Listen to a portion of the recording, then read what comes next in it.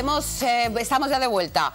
Las 6 y 32 minutitos. En este momento vamos a hacer la segunda conexión de la tarde. Conexión en directo.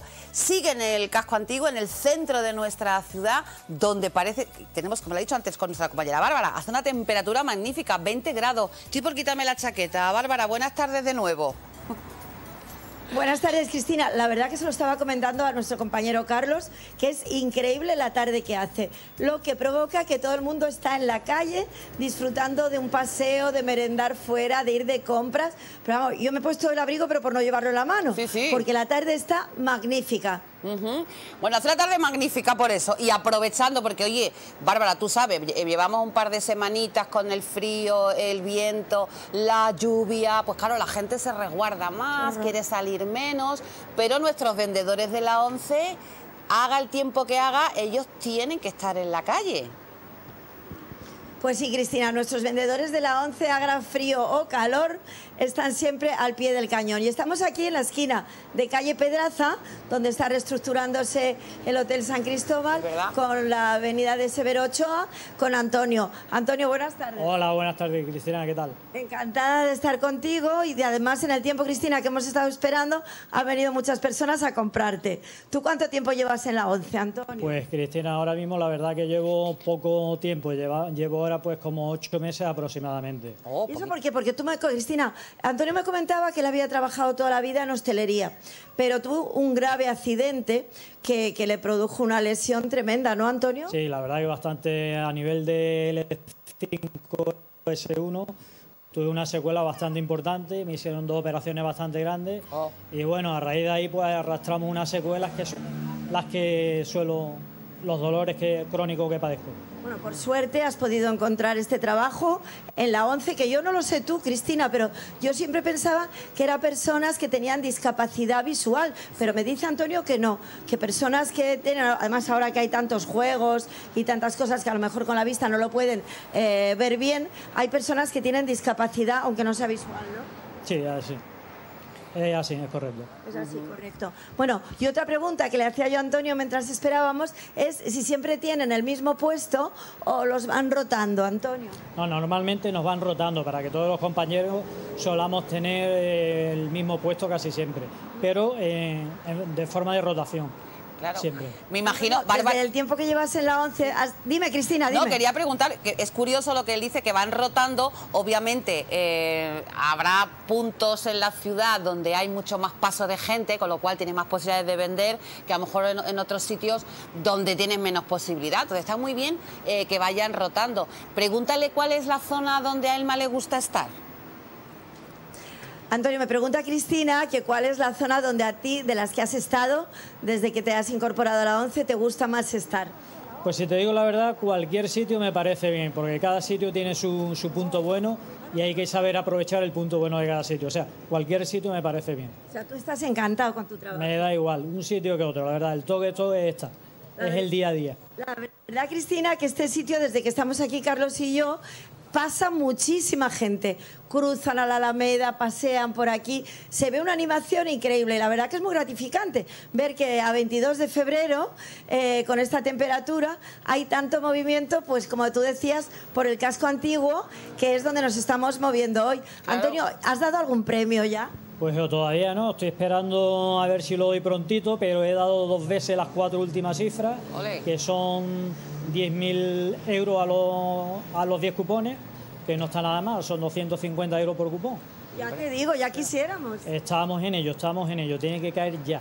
¿Y qué horario tienes, Antonio? Pues empiezo de 9 de la mañana pues hasta una- a la una y media, hacemos un, un descanso y empezamos de 5 de la tarde a 8 de la, de la tarde. Madre mía. Muy bien, bueno, y tú mismo también he visto, Cristina, como otros- otras semanas, que ellos comprueban con una máquina, ¿no? Si ha tenido premio o no. Siempre hay que comprobarlo con la maquinita, siempre hay que comprobarlo.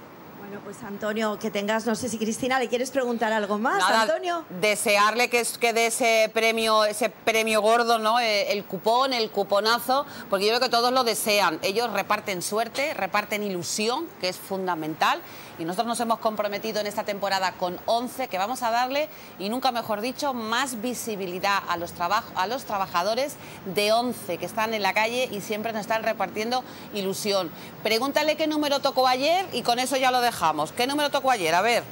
El mío bueno, eh, Cristina me dice que de lo que se trata es de dar visibilidad, y nunca mejor dicho, a la ONCE y a sus trabajadores. Y ha sido su propuesta para este programa. Y me pregunta que qué número tocó ayer. Ayer fue el, el, 80, el 83, eh, perdón, 43.083. Pues ya lo sabes, Cristina. Eh, no sé si tú llevabas o no un cupón. Yo no llevaba, desde luego. 43.083. Yo siempre llevo acabado en cero, tú lo sabes. Lo mío es el cero patatero, pero bueno. Cristina siempre lo lleva acabado en cero. Yo siempre en cero. Bueno, pues algún día tocará, Cristina. Seguro, seguro, tiene que tocar algo. Un beso para los dos y muchísimas gracias, compañera. A ti. Muchísimas gracias. Bueno, por supuesto, dar visibilidad a esos trabajadores. Bueno, vamos a seguir, vamos a continuar y en esta recta final tenía yo muchas ganas de coger a don Antonio Flore Ordóñez. Ya, él tiene un nombre, no puede ser más flamenco. Flore Ordóñez. Buenas tardes, Antonio. Buenas tardes. Aunque algunos dirán, Antonio, si todo el mundo te conoce como Toti. Todo el mundo. ¿Desde cuándo te llaman Toti? ¿De siempre? Pues prácticamente ya, desde, desde pequeñísimo, porque antiguamente o vivíamos en una casa de, vecinos, estaba el clásico patio, y había un, un vecino que eran, yo creo que dos años algo menos mayor que yo y también se llamaba Antonio. Y cuando la madre llamaba Antonio, acudíamos los dos. Cuando llamaba a mi madre Antonio, los dos. Y mi madre un día, eso es lo que ella me cuenta, se le ocurrió decir, pues mira, para evitar esto vamos a, yo lo voy a romper a mi hijo con Toti. Y claro, al principio no, hasta que me fui acostumbrando, acostumbrando, y Toti, ya acudía yo solo, Antonio acudía el otro. Y así ya, pues. Y ya, con Toti te has quedado. Ya me he quedado con Toti y, además que me gusta. Que me Antonio, yo te conozco hace muchísimos años y siempre, siempre te he visto detrás de una guitarra y subido a un escenario. Pues casi siempre, desde los 12 años. Bueno, vamos a contar un poquito. Tú naciste en Ronda. Yo nací en Ronda. Bueno, mira, no, mira tú qué niño más mono. Ahí tenía, ahí, ya, yo ya tenía más era de... Y eso que no me gusta fumar, pero bueno, lo que típicamente siempre te daban un cigarro. Las fotos de la época, ¿no? Las fotos de la época, ¿Tus padres de dónde, de dónde eran? Eh, mi, mi madre era de Cueva del Becerro y mi padre de Ronda. ¿Y esto de la música en casa?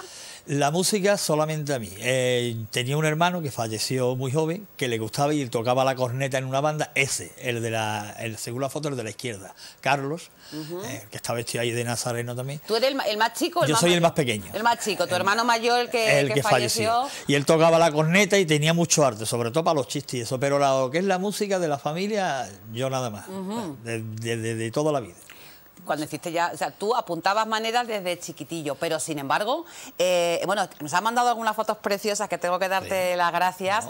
Eh, tú pasaste tu infancia en Ronda.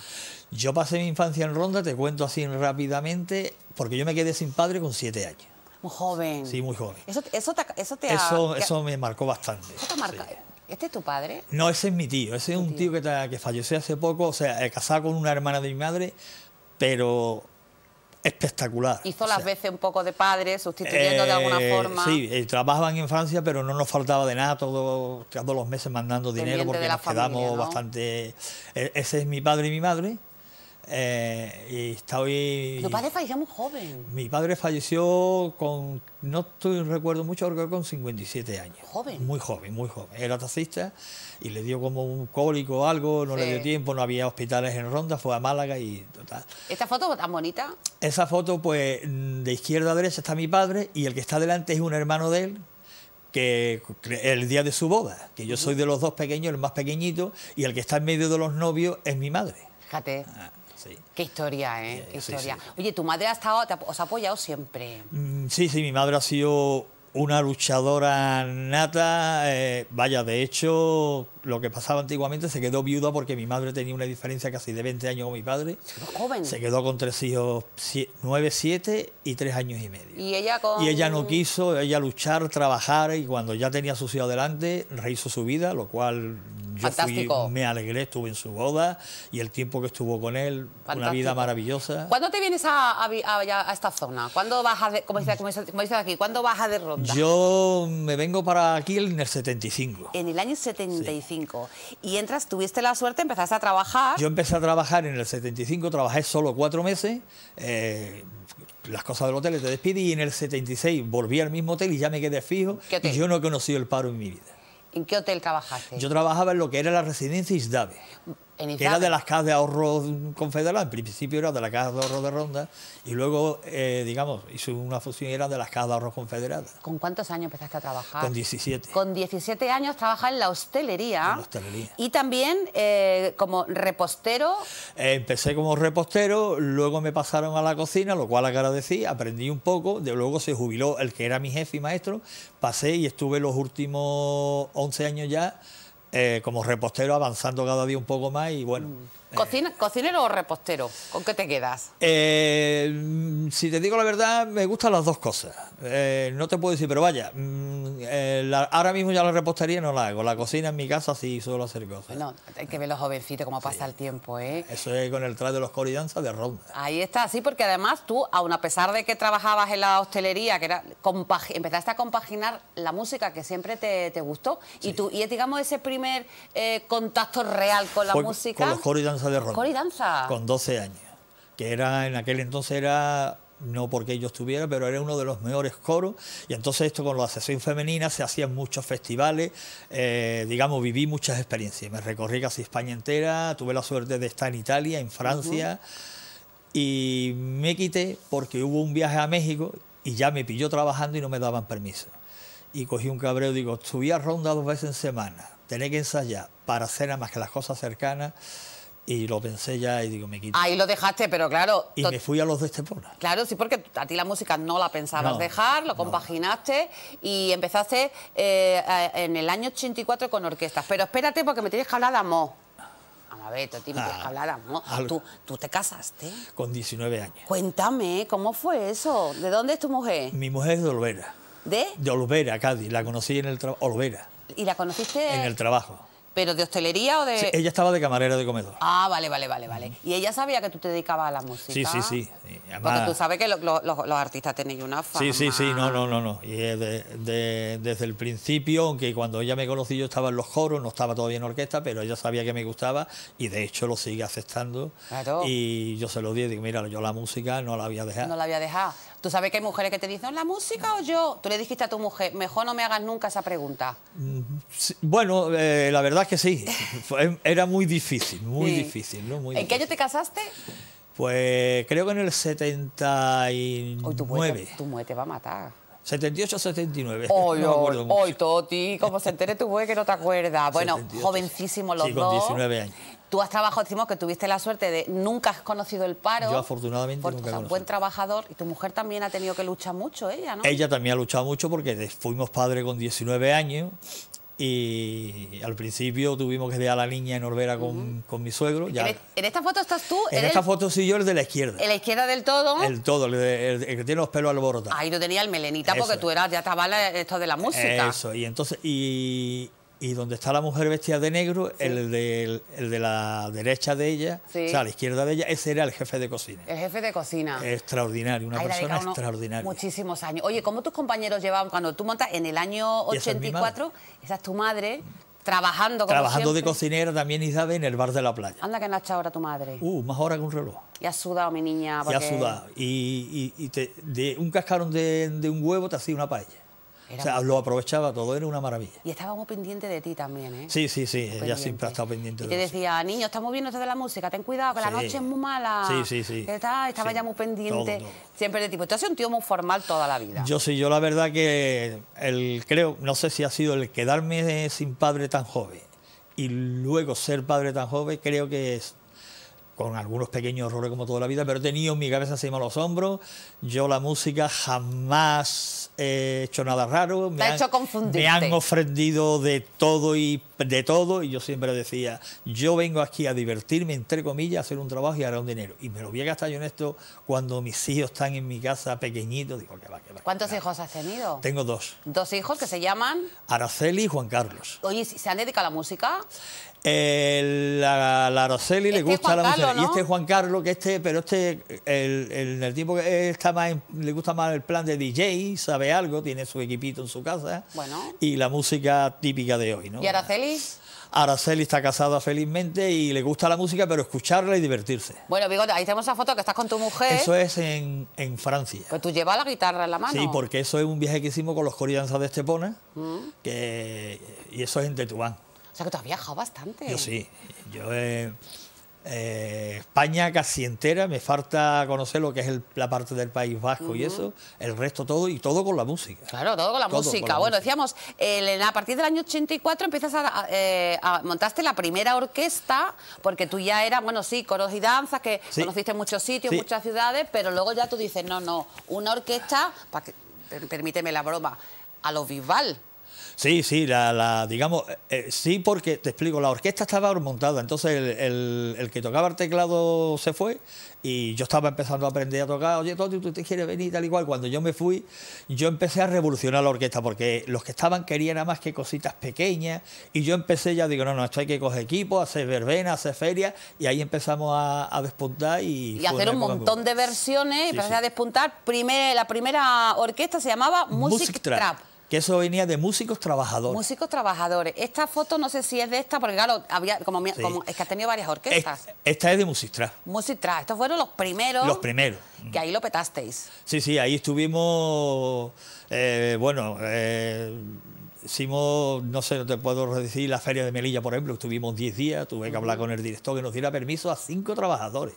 Lo pude conseguir y nos fuimos. Esta ya es la que ha venido antes, era de Gramazón. Estuvimos 11 días en Melilla y después, bueno, pues por aquí hacíamos Marbella, Estepona, Sí, sí. la Feria Málaga, o sea, todo. Madre mía, feriantes total. Bueno, de Music Trap después montaste Gramasur. Gramasur. Grama- también, también en orquesta. Ese es un grupo que estaba también montado, que yo conocía a dos componentes, que ahí tuve, digamos, la experiencia negativa de que era, nos llevábamos como el gato y el ratón y aquello era, era horroroso. De hecho, estuve un año y medio. Ahí lo único bueno que saqué es que ahí fue donde conocí a Pepe. Sí. Y al año y medio digo, mira, yo me voy de la orquesta porque yo, esto para mí es un trabajo, también una diversión, pero yo lo que no vengo es que y yo iba a los ensayos y iba amargadito. Estaba... Y Había yo tensión y, que- y dije- pasaste del dije tema. que me iba y fue Pepe el que me dice, Toto, ¿y tú te atreves a hacer un dúo? Porque Pepe tocaba la guitarra y era el que cantaba. Pues Digo, el, "No, sí". dúo, el dúo Diamante. El dúo Diamante. y ahí sí- donde yo te conocí. Y ahí hicimos el dúo Diamante. El dúo Diamante, este es... Este es Jacaranda. Este jacar- es que este fue después. Este Vamos a ver, con el dúo Diamante os hiciste yo por lo menos eh, la Feria de Marbella La Feria Marbella la hemos hecho, no sé si 8, 9 o 10 o 11 años. muchísimo tiempo. Y además con Pepe has estado mucho tiempo. Sí, porque con Pepe estuve, la primera etapa fueron unos 8 años. Él decidió mutuamente dejarlo porque él no quería tantas ferias y quería hacer algo con la mujer. un que trabajo duro, ¿eh? Y además, él, él- porque yo tenía posibilidad de, a, a lo mejor de, o si no libraba, de entrar de tarde, él siempre entraba a las 7 de la mañana. o ¿Él a seis qué y se dedicaba? Él estaba en el ayuntamiento, últimamente ya estaba en el sindicato, pero al principio estaba en las calles barriendo. Claro. Y entonces él, eh, entonces, y además fue una época que hasta que conseguimos comprar una furgoneta íbamos a tocar a todos los pueblos de la Sierra de Ronda con dos coches, él con Claro. el suyo y yo con el mío. Es que tú imagínate, además, eh, estuvisteis compaginando los dos vuestros, vuestras profesiones, que en realidad un poco era lo que os hacía pagar la hipoteca, Sí. porque la música es verdad que se gana dinero, pero mm, son épocas lo que te puntuales, sí, no, más no, en no. verano, ferias. Y, y cuando se acaba la época de Eh, se acabó y además, si tienes mala suerte, cualquiera vería como nos pasó una vez aquí en, en Santa Marta, que se nos quemó un equipo, pues te caga casi tres o cuatro meses de feria. Claro, con lo cual era, era eh, imposible vivir exclusivamente Sí, no, no, de, no, imposible. de la música. Eh, después de- del dúo Diamante, montas el trío. Jacaranda, que éramos tres componentes de Music Trap. Fíjate, tú eres muy cardeoso. Yo sí, no, a mí la música me ha gustado y, y me ha gustado siempre. Toda la vida, ¿no? Toda la vida. ¿Tu mujer te ha acompañado en esa faceta musical? Mm, Ella ha venido, que yo recuerdo un par de veces en Nochevieja a algún hotel que hemos hecho y cuando Isdave era Isdave, que allí tocábamos creo que cuatro o cinco veces en la quincena, como estaba cerca de casa, porque vivimos allí, pues a lo mejor cuando salía de trabajar, pues arreglaba, se iba allí a- con las compañeras. Te voy a decir una, tos- una cosa, Toti, tú disfrutas porque te gusta la música, eh, temas, pues si te hacíais pases de, de media hora, un poquito de descanso otra media hora, y a lo mejor estabais una hora, dos horas, tres horas, en fin, depende cada, cada, cada contrato, pero él llega, monta, pon, Uh. tal, llega, acaba, está reventado, está, puedes tener fiebre, puedes estar malo, puedes estar cabreado, que puedes tener un enfado, Yo toqué una noche vieja con 40 de fiebre. por eso, y ahora cuando termina, que está todo el mundo divirtiéndose, pasándose la bomba, ahora desmonta todo. Ahora desmonta. Quita cable, no sé qué, monta furgoneta, vete en furgoneta, que a lo mejor te han contratado en... Que eso, eso hay gente que... y te la- compensa. sí, te compensa porque te gusta tanto. Esa es mi madre, esa es la boda de mi hija, bailando un paso doble con mi madre. ¿Tu madre vive No, falleció en el, en el 17, con cuántos años? con 82. Ella disfrutó mucho de tu... Sí, sí, ella sí. Ella, mm, me, o sea, Ginny Davis me veía mucho. Cuando le pillaba en ronda que iba a alguna verbena también venía a verme. Sí, ella sí disfrutó. Disfrutó muchísimo y además orgullosísima de Sí, ti, ¿no? Y de toda tu familia también. De toda, toda te has sentido siempre muy, muy, muy formal. Eh, bueno, ahora ya, ¿tú ya estás jubilado? Yo estoy incapacitado. Vale. O sea, que ahora mismo no estás trabajando. Sí, sí, yo no estoy trabajando. Vale, pero tu pen- eres pensionista. Sí, sí, soy Vale, pensionista. vale, perfecto. Llega tu momento de como pensionista que ya no tienes que preocuparte de, de llevar dinero a la casa. No, ya no. Y tú dices, pues ahora voy a seguir con la música. Sí, sí, no. Y llevas, atento, primero montaste un coro. El, sí, el de Aires del Sur. Este es el primer coro, ¿no? Aires del Sur. ¿Este le montaste tú o cómo fue? Ese, digamos, se montó entre Pepe y yo, se, digamos, se reestructuró, hubo ahí una desavenencia, nos fuimos y ellos intentaron, siguieron, total, y en pasado un tiempo me llamaron y ya llevo, pues, no sé, creo que unos 6 o 7 años y ya sí, prácticamente lo, lo, lo- lo- lo llevo yo todo. Está ahí un poquito más, más centrado en San Pedro. Sí, Pero señoras y señores, aquí nuestro amigo Antonio Flore Ordóñez, alia El Toti, no se conforma con un coro. Estás participando, estás metido, vamos a decir yo, hasta aquí en el coro Virgen Madre Nueva También. Andalucía. ¿Cuánto tiempo llevas con ellos? con el coro Virgen Madre creo que unos 5 años. Pero están encantados contigo. Sí, sí, yo con ellos. La verdad que me tratan muy bien y... y- Ellos dicen que aprenden mucho contigo, además que claro, tú tienes un bagaje, de, tú eres un profesional de la música, aunque decir... lo intento. Tenido orquestas, Sí, sí. oro, eh, tú te conoces, sabes, sabes adaptar un tema, el pri- el ulti- el- porque claro, las orquestas y los dúos y el trío hacíais versiones de temas, con lo cual estabais al tanto de las Claro, canciones de que se llevaban, versionándola, haciendo música. Tú eres autodidacta. Sí, sí, sí, claro. estudiado. Es que eso tiene un méritazo. Sí, tienes que escuchar una canción, tienes que eso, que sacarla, ensayarla, montarla y en el caso del coro, después buscarle el tono que le va bien a 8, 10 o 12 voces que ninguna son iguales Claro. y unas son mejores que otras o Claro. suenan, ¿me entiendes? Hay que, hay, hay que hacer esa cesta con esos mimbres. Exactamente. Y algunos con, bueno, pues ellas no son profesionales, le ponen mucho interés, ¿verdad? Sí, sí, Desde sí, luego, disfrutan muchísimo y tú también. Y yo también. Y digo yo, ahora tú que ya estás, vamos a decir, jubilado, por decirlo de alguna forma, y tu mujer te dice, Toti, hijo, vámonos de viaje, vámonos a pasear. No, no, tú tienes tu agenda ocupada con los ensayos de uno, de Sí, otro. claro. Es que yo si tengo algo también es responsabilidad. Entonces, eh, yo si me comprometo con un proyecto, me comprometo. Eh, que hay tiempo en- entre semanas o dice, ahora me tiro dos semanas, no hay ensayo porque no hay nada a la vista y puedes hacer algo o tener una escapada, pero sí, yo tengo un compromiso, entonces no puedo decir, hoy voy a ensayar, mañana no voy. Oye, que tocamos tal día. No, pues yo no voy porque tengo un viaje a no sé dónde. ¿no? Entonces, Pero que no, yo sé que tú no llegas no a las navidades y habéis- no habéis parado de, de hacer bolo. Claro. Hacer bolo. Para que ahora no cobráis. Eh, eso es lo malo. Quizás menos. Bueno, Aires del Sur sí, ¿eh? Aires del Sur, por cierto, que hay que decir que pueden contratarlo, ¿eh? Sí. Para eventos, para bodas, que son, además tenéis repertorio precioso, que estáis trabajando Sí. mucho para siempre mejorar, siempre ir un Claro, poquito siempre. mejor. Eh, ¿Tú compones también?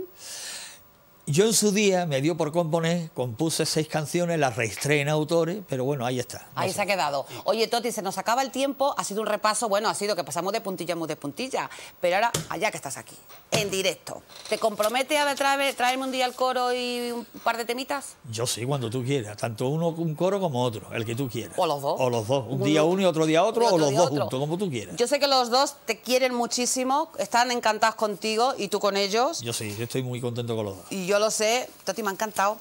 Te vi-. ¿Cuántas veces nos hemos visto en feria? Feria lo hemos visto muchísimo. Estaba la gente por ahí pasándolo bomba y nosotros ahí trabajando. Niña, niña, que tenemos que trabajar, niña. Sí, sí, con que te diviertas un poco, pero no deja de ser un trabajo, como yo les digo a la gente. Claro, entonces es que tú- vamos, yo me divierto, pero si yo me tengo que subir a las 3 de la tarde al del escenario, me tengo que subir. Yo no puedo subirme a las 3 y La gente cuando me dice, "Ay, la fe- ¿a dónde que te gusta a ti la feria? Digo, no, en feria me gusta con, que- con mi cervecita y de paseo. Claro, lo que pasa es que es cierto que hace algo que te gusta, que te llena y el día que sale bien, ve a la gente contenta, pues entonces tú ese día estás felicísimo. Otros días haces de tripa corazón y haces que estás bien, pero tienes la procesión, pero tienes que estar ahí. Señores, chocamos la mano, compromiso. Este programa es como en casa, así que aquí familia. Aquí estamos. pues- Cuando tú quieras yo te traigo los dos coros, un día uno, otro día otro, juntos como tú y quieras. echamos la tarde. Y echamos la tarde. Pues muchas gracias, Toti. Nada, gracias a ti por invitarme. Muchísimas gracias. Pues nada, nos marchamos. Por cierto, Jimmy Ortiz me ha traído, qué bonito, ¿eh? Ha venido corriendo y me ha traído esta figura que nos va a acompañar eh, todas las tardes. Así que ya saben, Jimmy Ortiz también un gran artista. ¿Ha visto cómo el programa ha quedado ahí redondito, eh? Mucho artista, mucha música, lo que a mí me gusta. Nada, que pasen buena tarde. Les dejo con, con la misa y mañana a las 5 estoy yo aquí, clavadita. Vamos, hasta mañana.